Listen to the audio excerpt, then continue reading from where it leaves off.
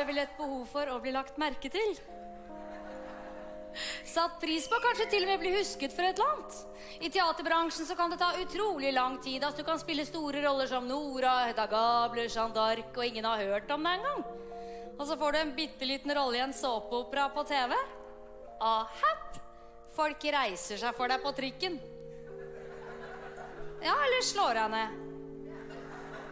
Ja, men virkelig, det er nesten litt skummelt. I en undersøkelse om fremtidsdrømmer blant barn så svarte syv av ti at de ville bli kjendiser eller TV-stjerner.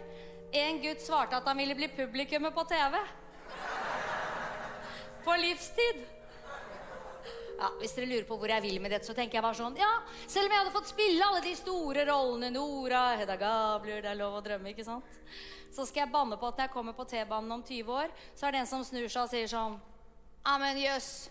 Da går hun som reiv av seg kjolen i Grand Prix. Det kjennes veldig rart. For tenk at jeg Oh boy. Jeg kunne knapt nok gå da Nora sang voi voi. Og da Jahn Teigen gikk der mil etter mil, satt jeg og svettet med en traust nynorsk stil. Og da Rolf Løvland kom, var første barn på tur. Men gjennom alle år lå det en drøm på lur. Ikke si det til en sjel, men tenk om jeg kunne. Å, tenk om jeg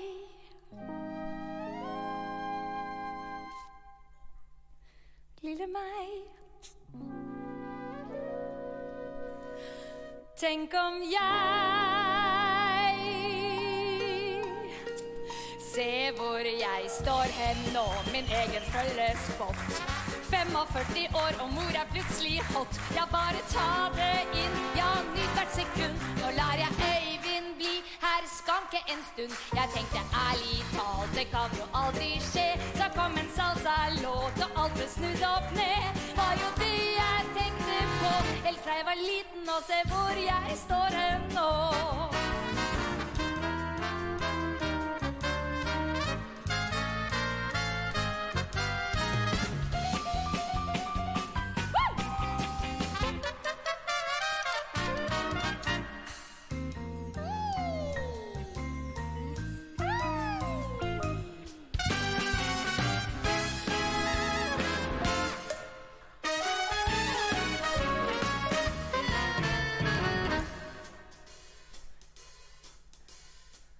Det viktigste med å være med i Grand Prix er å slå Sverige. Men nå må også Sverige kvalifisere seg, så leit. Men jeg har en plan. Ja, vi har en plan. Ja, vi har en plan. Med søta bror i kvalik kan bli svårt som faen. Og neste år så stiller jeg for Kasakhstan. Hei! Hei,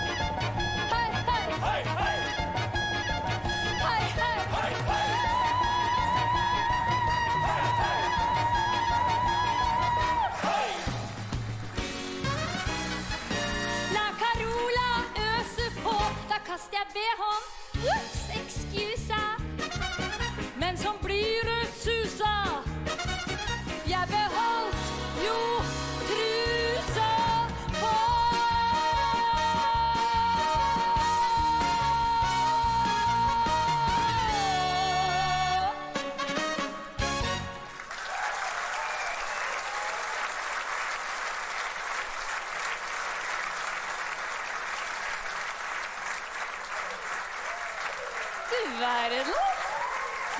Skal Guri? Ja, det er det vi skal, Elisabeth. Skal vi ikke det? Ja.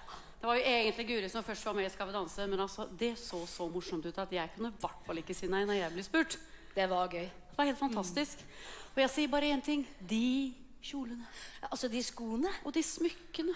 Og så se det for dere, damer. Altså, Du kommer på jobben, går inn døra, og mot deg så kommer det en kjekk fyridanser. Han ser deg dypt inn i øynene, tar deg i sine armer og svinger deg ut på gulvet. Ja, det er det jeg kaller hardt arbeid. Skal vi danse var så utrolig morsomt at det spilte liksom ingen rolle at ingen av oss vant. Ja, men Guri Altså, Du blir jo nummer to. Du blir bare slått av den blide, pene 10-15 år yngre enn deg, hun som alle norske menn vil gifte seg med. Hva er det hun heter? Katrine Moholt. Det var det, ja. Skal vi danse er over for vår del, og egentlig har vi lagt latindansen på hylla. Ja, Men vi skal ta én siste latindans for dere her i aften, mine damer og herrer. Det skal vi. Men da, Guri Jeg tror du har feil antrekk, har du ikke det? Å, gud, unnskyld. Ja.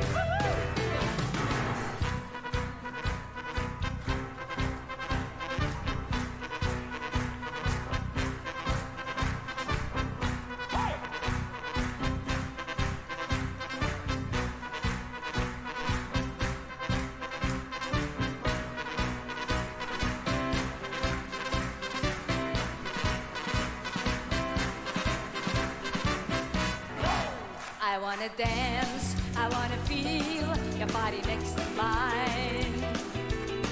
Feel the touch of your skin. In every move, I feel the beat. In every breath I take, I feel the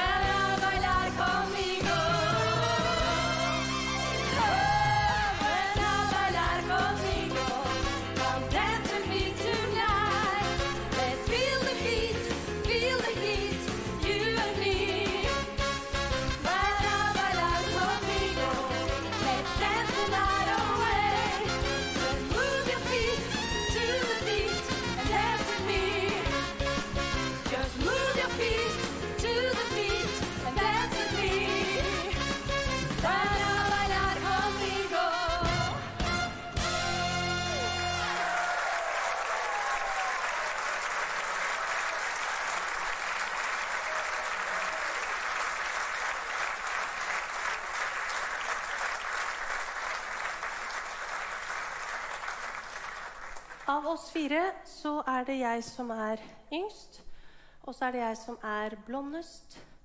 Og i praksis så betyr det at jeg må være snill og grei og vennlig og omtenksom og omsorgsfull hele tiden. Og helst puse litt med de tre andre damene. Blir litt sånn som Askepott, som passer på stemor og de to stesøstrene. Alt bra med deg da, Guri? Har du det fint? Åh, det var godt å høre.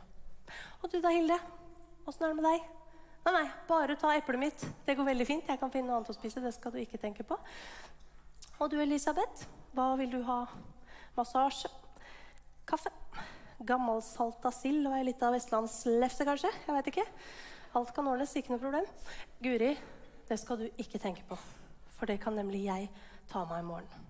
Jeg syns bare du skal dra hjem og slappe godt av med bena veldig høyt og ha en deilig kveld. Tipp topp. Men når kvelden kommer, og jeg er ferdig på jobb, da kan jeg være sånn som jeg egentlig er. Helt innerst inne.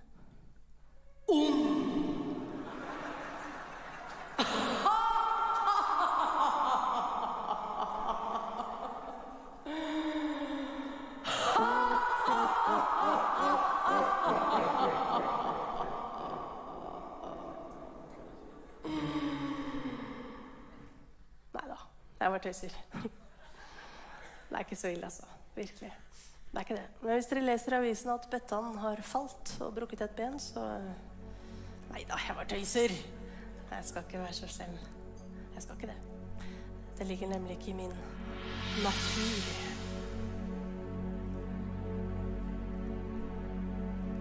Good and evil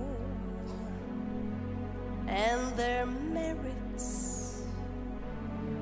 men have argued through history as well they should. My philosophy, any child can see. Good is evil, and there.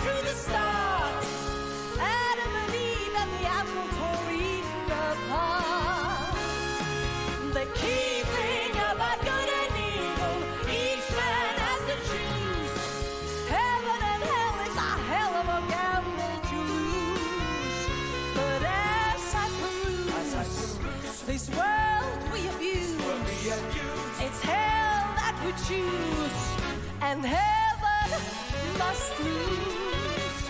Evil is everywhere, good doesn't have a prayer, good is commendable, evil's dependable, evil is viable, good's unreliable, good may be thankable, evil is thankable.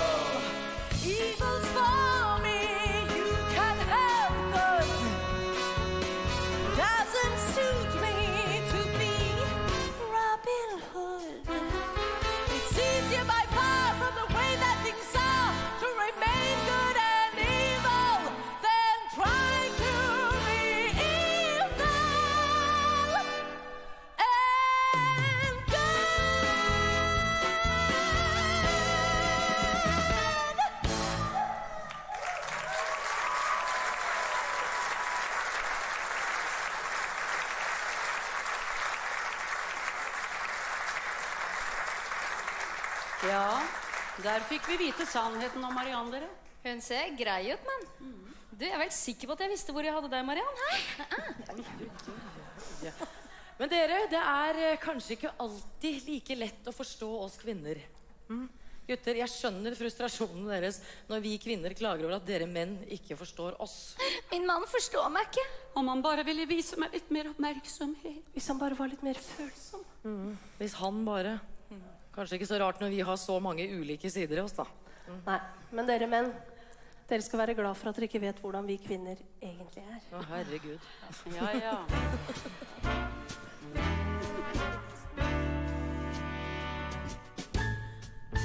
Om dere kjente oss kvinner Om dere kjente oss kvinner, det skulle.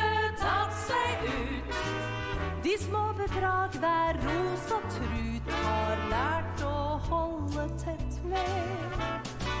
De grasiøse triks vi prøver å forbrenne fett med. Om dere kunne plukke av av ytre pynt, Hver falske mynt. da lå vi tynt an,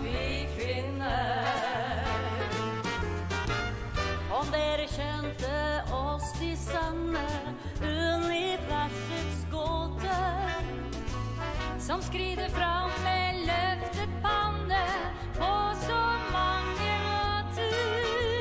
For det du ser er show, og det du hører er teater. Kun vi vet hva vi drømmer om, kun vi vet hva vi hater. Karbohydrater! Om dere kjente oss Om kvinner dere kjente oss kvinner, Hver pille vi knasker på. Ansiktskrem vi klasker på med froskeegg og sprit i. Vi legger muddermaske på så vi ser ut som IT.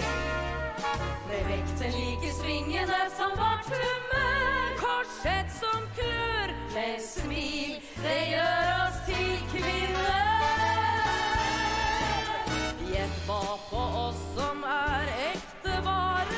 Gjett hvem av oss som går med parykk. Gjett hva de herre kostet i svaret. 3005 og hvisker per Jeg Jeg barn barnsjokolade. Jeg synger Touch Me på badet. Jeg har blitt rørt under farmen. Og jeg blir yr av Lars Barmen. Jeg ville valgt en mer slesk. Jeg går med sherry i vesken. Sherry som jeg drakk meg full på. Om dere kjente oss kvinner, ville det meste var full på med drømmespill. Der illusjonen legende som strømper oss ikke med pushup og hold in. Om dere kjente oss kvinner, nei, kjæreste, fortsett for guds skyld å være blind.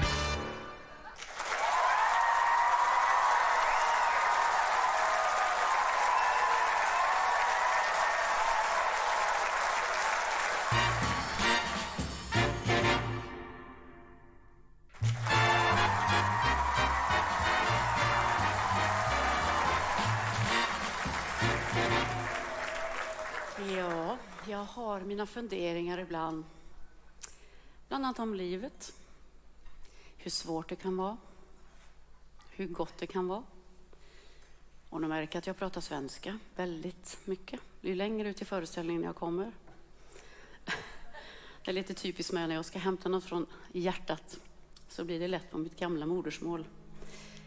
Men eh, för lite över ett år sedan så så mistet jag en väldigt, väldigt god vän.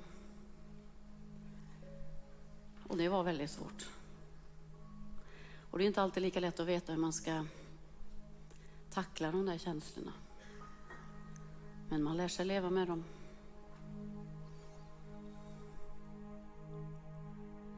Det är nu som livet är mitt jag har fått en stund här på jorden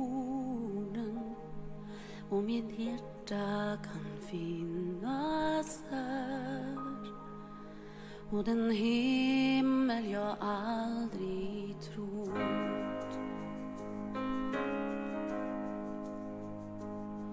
Det är ändå vägen jag valt min förtröstan långt bortom orden som har visat en liten bit av den himmel jag trodde fanns. Jag vill känna att jag lever all den tid jag har Ska jag leva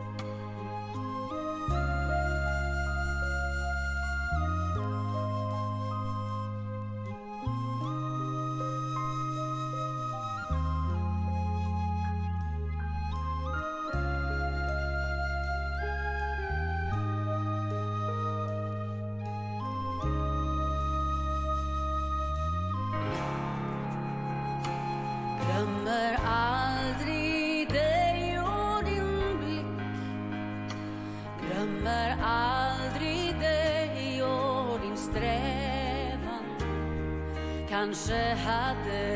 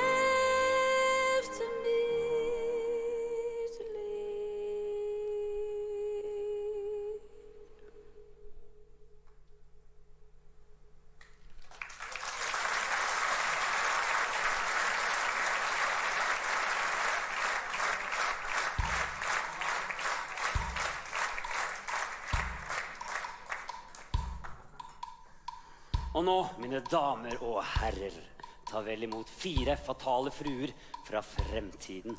Nærmere bestemt år 2017. Elisabeth, Hilde, Guri og Mariann var ganske gode venner da de jobbet på Chat Noir.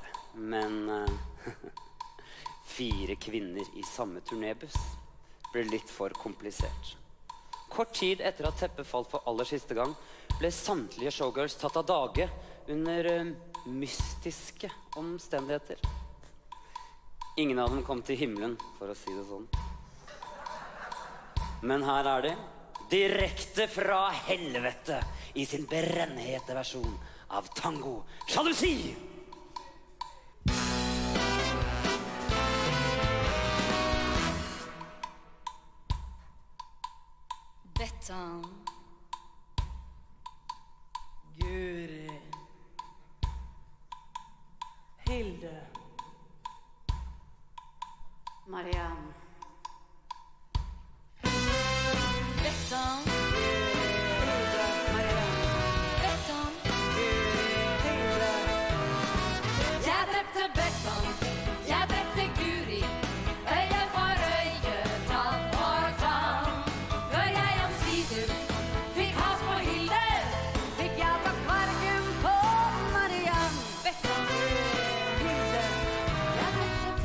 Marianne Ås Hansen.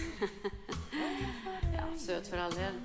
Men det är ett jävla kött. De är mycket yngre än mig och ni hela tiden. Jeg er veldig fan av deg.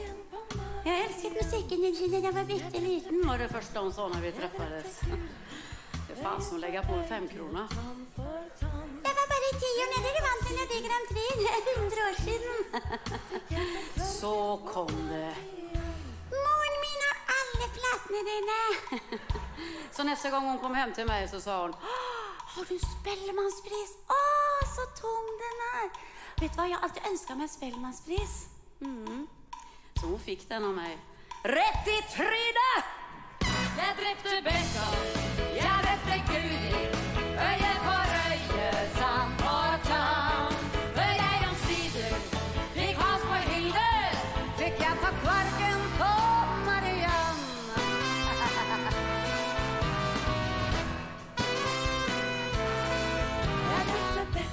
egentlig ganske gode venner, Elisabeth og jeg. Men det toppet seg litt etter Grand Prix-finalen i Helsingfors. Ja, det var ikke grenser for gode råd og etterpåklokskap.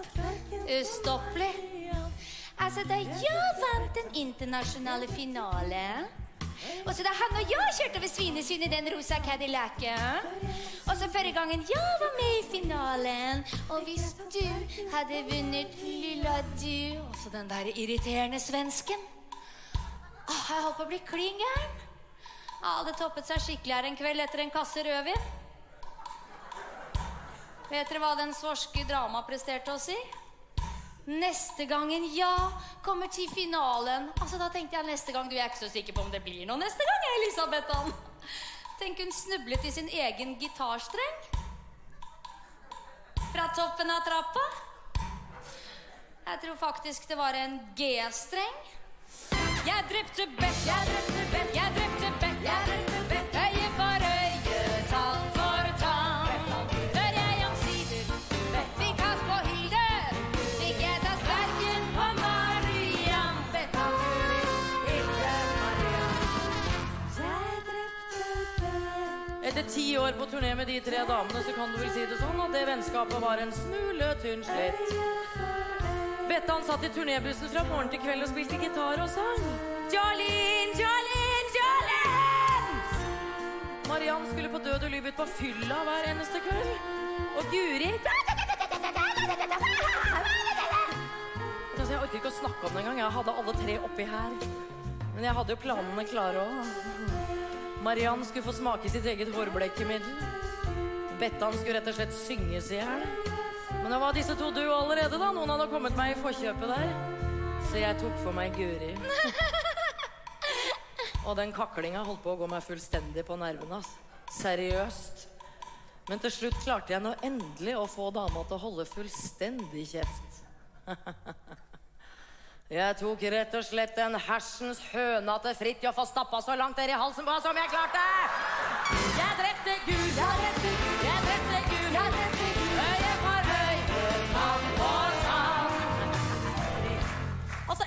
Mennesker får liksom alle jobbene de peker på. Og det er utrolig irriterende. På TV meg her og på TV meg der. Altså Hilde hun hadde en sånn greie at hun alltid måtte skryte av hvem hun hadde jobbet med. Sånn helt tilfeldig.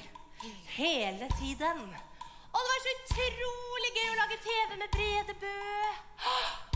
Sven Nordin og jeg. Altså Vi fikk bare en helt sånn helt magisk kontakt imot i brøstet. Mm. Å, herregud. Dennis Storøy. Han er bare så utrolig kjekk. Altså motspilleren min i Sex om oss. Og du, Mariann? Du har vært på juleturné i syv år med Rune Larsen, du. Fy faen. Jeg var så drittlei den kjerringa. Så tenkte jeg at nå nå skal det der påsveisa, overfarga nylonhåret fra Bangladesh få seg en liten surprise. Altså, Nå var jo jeg strengt tatt død, men jeg hadde forhåndsarrangert et lite uhell. Jeg hadde lagt en hårføne med overledning nedi vasken hennes på teatret. Den vasken som dryppa. Så når hun skulle føne de mørke, deilige lokkene sine, så fikk hun 220 volt rett i fletta!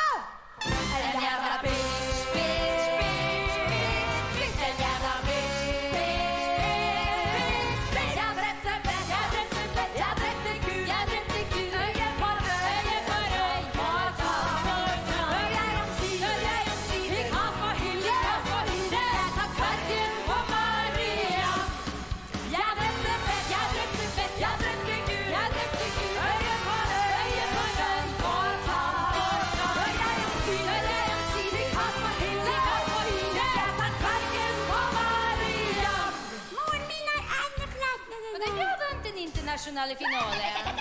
220 volt fikk jeg tatt vasken på Maria.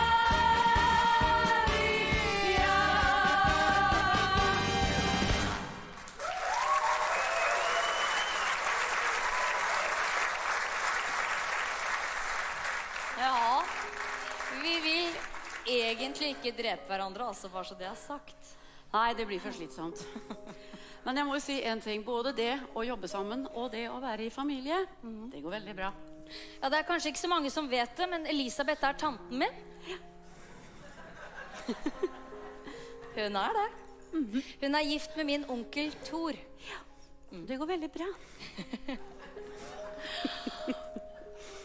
Men tenk, nå sitter vi her, Elisabeth. Hva? Det er rart å tenke på, for nede i orkestergraven her så sto en annen onkel jeg hadde, og dirigerte. Og det var Einar Skanke. Og vi har lyst til å synge en liten sang som han har skrevet.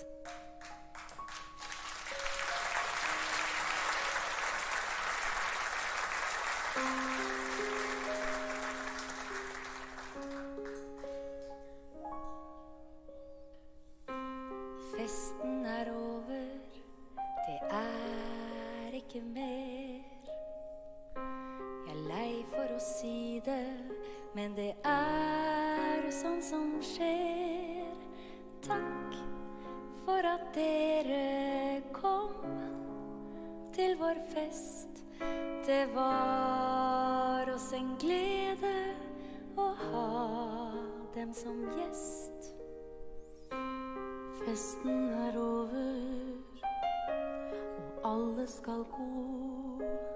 Det kjennes bestandig litt tungt etterpå. Skal slukkes, musikken tar slutt. Men la oss vente et minutt.